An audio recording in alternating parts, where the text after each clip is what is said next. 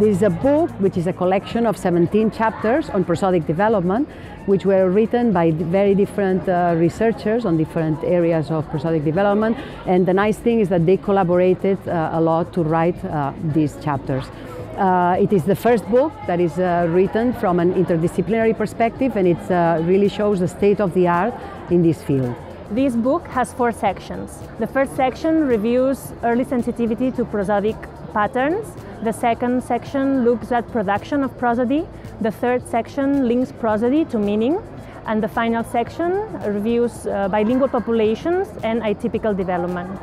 This book will interest the academic community from linguistics to neuroscience, and we hope you enjoy it.